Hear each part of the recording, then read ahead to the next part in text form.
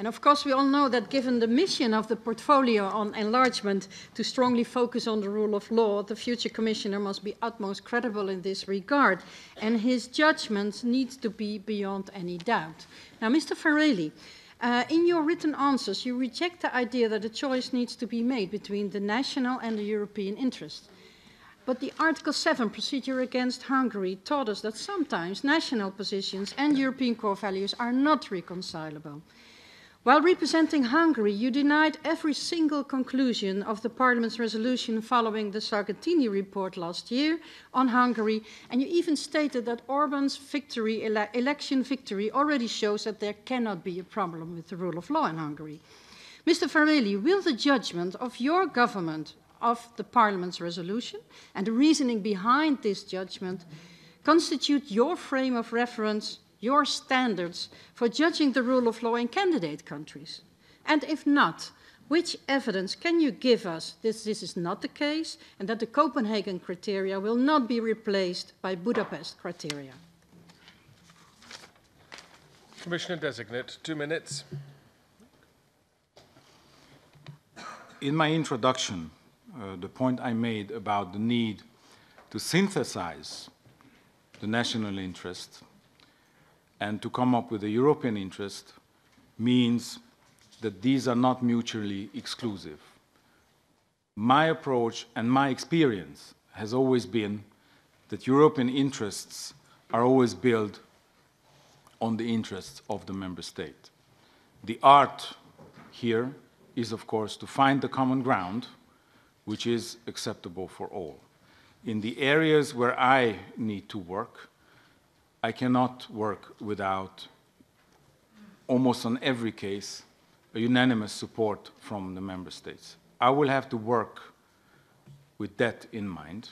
I'm used to that because the file I have been mentioning you, uh, on which I was working in the Commission, required the same. But I'm not afraid to make choices, value choices. And those value choices are clear in the Copenhagen criteria the Copenhagen criteria cannot be, cannot be mitigated, watered down, or even enlarged by a single commissioner. I do, not, I do not have that power and I do not wish to have that power. The Copenhagen criteria are still the basis of any enlargement process, and I will see to it that they are fully respected all over the accession countries. Thank you. Ms. Strik, follow-up question.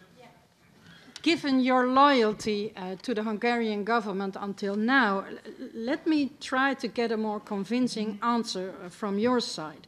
So let me put your uh, answer to the test. Do you think that a state that oppresses opposition parties, almost completely controls the national media outlets, forces judges into early retirement and restricts academic freedom, tolerates a widespread corruption or discriminates minorities would meet the rule of law criteria to become an EU member state. Thank you. Mr. Várhelyi, one minute. If any of the accession countries uh, would be in such a position and we would see such shortcomings, of course,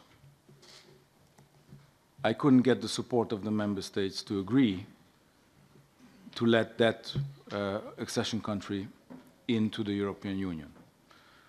So my work will be based on the work of my predecessor to deliver a fully fledged democratic, democratic system in the Western Balkans with an independent judiciary, with cutting down corruption, with independent uh, democratic institutions, with the checks and balances, and everything that is requ required in the enlargement framework.